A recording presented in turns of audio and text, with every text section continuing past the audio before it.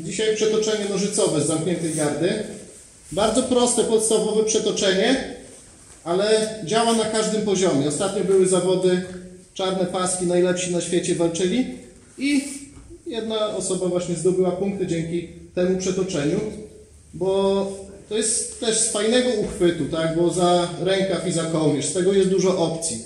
Mamy przetoczenia y, i z delariwy potem, czy z pajęczej gardy, czy jakieś poddania, omoplaty, trójkąty, to się przydaje ten uchwyt. Więc automatycznie, jeżeli będziecie szukać tego uchwytu w zamkniętej gardzie, to Wam się przyda też przy różnych poddaniach. I teraz tak, kiedy robimy przetoczenie nożycowe?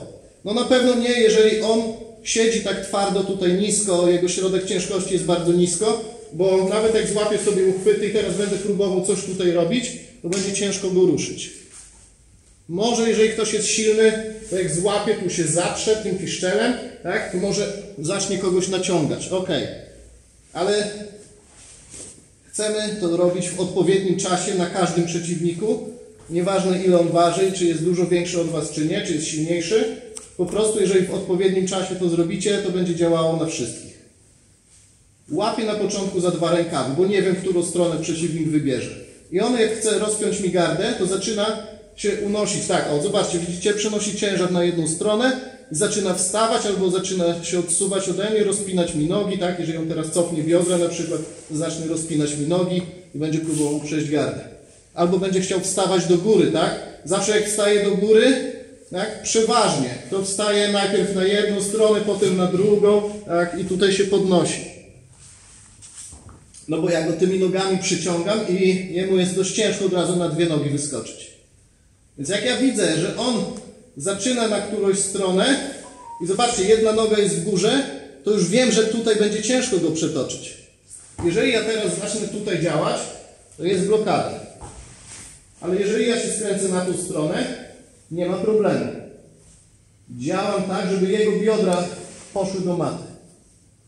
I mam przetoczenie.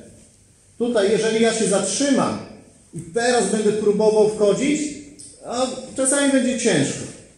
Możecie się tutaj spóźnić, jeżeli będziecie nieprzygotowani. Dlatego trzeba od razu postarać się, żeby wejść na łokieć. I będzie dużo lepiej, dużo szybciej wstać. Więc nie wiem on na którą nogę wstanie. On podnosi nogę. O, widzę, że tu. Ok, już jest. Tutaj piszę, blokuję go, żeby on się nie przybliżał. I tutaj jakbym chciał robić nożyce nogami, działam w ten sposób i od razu tak, podciągam i wstaję na łokieć. Nie pozwalam mu, żeby ta ręka poszła na matę. Tutaj pilnuję dystans, tak? albo nawet sobie go mogę przyciągnąć i wspinam się na górę. Z tej pozycji też jest fajne od razu duszenie, tak? bo już mam głęboko, nawet sobie mogę stąd poprawić tu, głęboko uchwyt, idę na drugą stronę, mogę sobie złapać duszenie krzyżowe, hop i mogę go dusić. Więc też szybkie poddanie z dosiadem.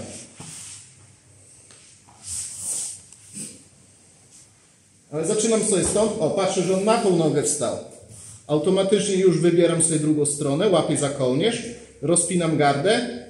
Tą nogą blokuję się o jego biodro i wysuwam biodra na bok. Okay? Jest ten ruch. Hop. Jest blokada. I teraz nożyce.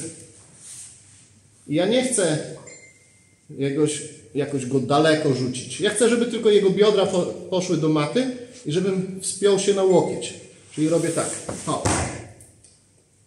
Będzie dużo szybciej, żeby się wdrapać na niego. Ja lubię zawsze sobie tutaj poprawić uchwyt i dopiąć do jego szyi. Tak, żeby nie spaść z tego dosiadu i od razu szukać gdzieś jakiegoś poddania. Jeszcze raz.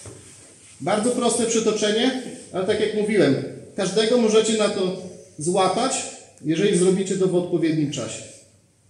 Nieważne, czy on będzie wstawał, czy będzie po prostu próbował jakiegoś rozpięcia, musicie wyczuć odpowiedni moment, tak? On zaczyna akcję, wy jesteście przygotowani, hop, i od razu na górę. Ok? Lecimy.